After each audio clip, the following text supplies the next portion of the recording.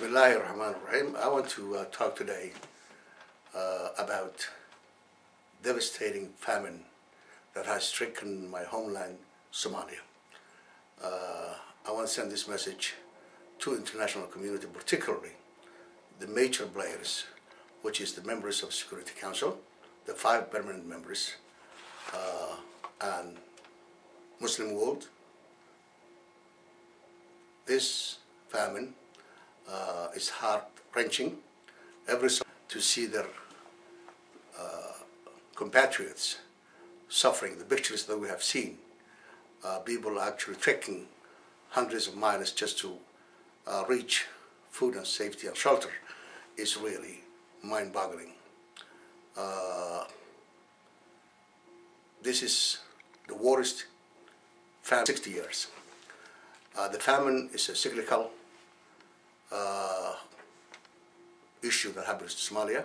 The problem is drought that actually morphed into a famine. Today, uh, the problem we, we, see, hundreds of thousands of Somali have died, especially the children.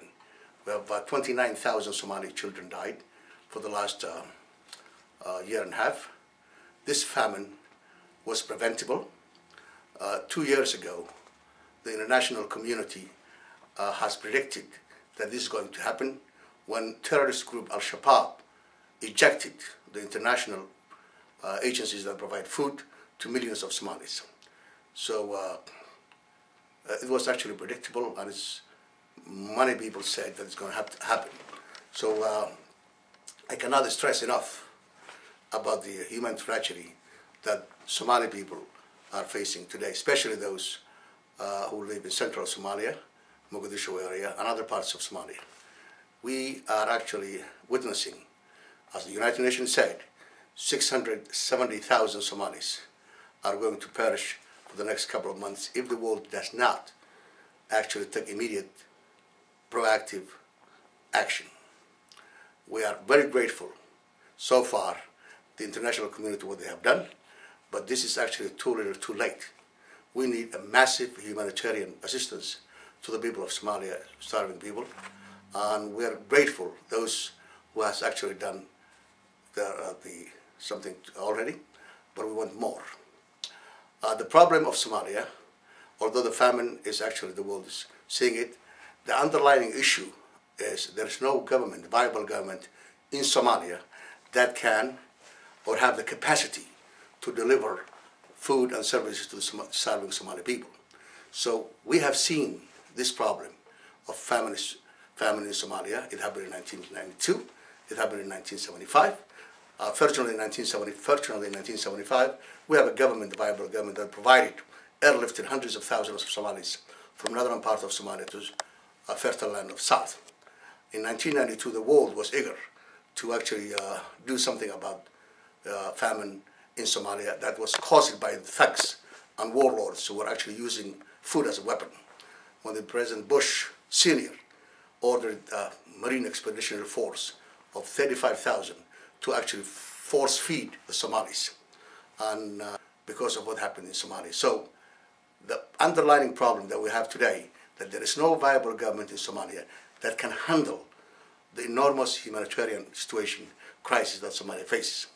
This so-called government is actually a bunch of people who does not have capacity to handle uh, the Somali issues. The international community is telling us, particularly the countries like United States, Europe, are saying they support the interim government under the Sharif's leadership, uh, the interim uh, uh, under Sharif. This is actually an insult to Somali people. These people cannot handle anything. They don't have the capacity to handle anything at all. They failed miserably, uh, consistently for the last two years. They knew this was going to happen the world has actually warned about it. They don't control anything. The AMISOM and international organizations that are there and OU are the ones who actually control the security. They do not care about Somalia. What we need to know, tell, and I want to set this, stress this, and tell this message, send this message to the international community, particularly the United States, is that the, there is no viable government in Somalia. The information that we receive all the time that there is a viable government, that does not actually exist.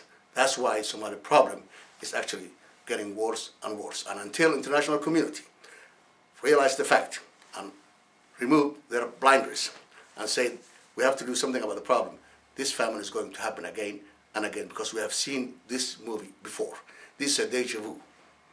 So we urge the international community, particularly the Western countries uh, and the Muslim countries, to come to the aid of Somali people. And we also urge that the United States and international community to provide Somalia a framework, a chance to have a viable government that's drawn from its people. We don't want imposed policy battled by Mr. Mahiga, who is um, United Nations uh, head of the United Nations Office of uh, a political office of Somalia. He is virtually in charge of Somalia. He became what they called in the colonial era. They used to call a viceroy of Somalia. That's what we have today. We have no government. We have no responsible institutions. We don't have any parliament. These 550 people are a bunch of thugs that doesn't know anything about government. The so-called government, they still systematically loot government funds intended for these starving people. So for the international community to tell us that this is a government that's actually responsible for Somali people and they're going to lead us uh, to a, a, viable government in the future is actually not going to happen. We know that the international community has actually, especially the United States, has outsourced its policy towards Somalia to Ethiopia. We know that the Uganda and Ethiopia are the ones who are actually in charge under the supervision of Mr. Mahiga, the United Nations.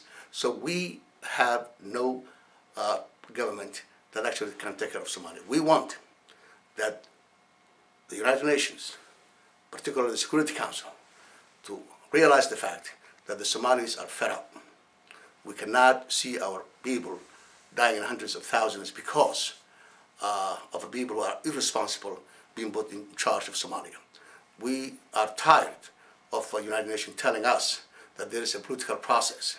We are tired, uh, the Somali people are tired of uh, political officer so-called Mr. Mahiga, who is actually acting like colonial uh, administrator of Somalia, telling that we have to, that, like what happened in Uganda, the audacity of Uganda, in collusion with Ethiopia, and the supervision of Mahiga, to actually set up the system whereby the government of Uganda is guaranteeing to implement, to set up who's going to be president, who's going to be uh, uh, Speaker of the House, how long the government will stay. This is an insult. This is a violation of the sovereignty of Somali people. I want to stress, tell the world, that this cannot go on. We, the Somali people, want and demand that Somali sovereignty should be restored, that the decision about Somalia should be decided by the Somalis, not Mahiga, not the Ethiopian Zenawi, not Museveni. We need that we decide our future. We don't want three M's, Museveni, Mahiga, and Meles to decide the future of Somalia. That's what's happening today. And I stress that we must have the United Nations, particularly Security Council, has to allow the Somalis to set up their own uh, policy whereby we draw the people from the regions uh, as parliamentarians. Those groups will elect the president. Then the president will set up committees whereby these committees will be empowered to draft a constitution that will allow the Somalis to have a viable solution. So what is the solution? Solution is we have to realize, we have to rely ourselves. The solution has to be Somali solution. It cannot, any policy that you import from New York or from Nairobi or from Addis or from anywhere is not going to help Somali. We have to put aside our tribal and cleavage differences. We have seen what lack of government and lack of a nation, when the nation becomes failed state or broken state, what happens to our people. Today, the world may can help you. They can assist you once or more, twice, but the world is not going to take care. It's not going to clean your house. It's not going to take care for Somalia. We, as Somalis, can take care of that, but we need the assistance of the international community, particularly the major powers, to say clearly that there is no government and there must be a solution for Somali people. We cannot continue this endless facade whereby the international community are saying Somalia has interim government and every year they're adding one more year, two more years, one more year. This is an insult. This is actually direct attack to Somali sovereignty, direct attack Somali territorial integrity, direct attack of Somali dignity. So we have to have a program whereby the Somalis can come together and hammer out their differences. We have to also use and take advantage of enormous intellectual capacity and uh, knowledge of Somali diaspora. We have to actually, the Somalis must get up and say enough is enough, and we have to do something about it. Unless we do that, we're going to have the same problem again. The drought, although it's environmental, the underlying problem is the war. Somalia has no viable government for the last 20 years.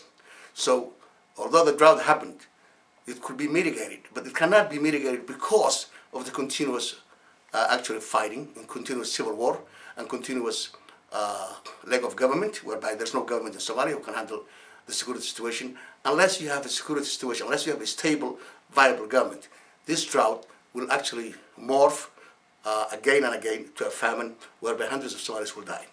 And sooner or later, the country will be emptied of Somalis. This is what's happening. So we have to wake up and do something about it. And I hope the international community, particularly the United States, will change its policy of actually dual track, which is actually direct attack of Somali national unity, Somali national uh, uh, identity. Because having dual track, talking to tribal groups, is not what Ethiopia wants.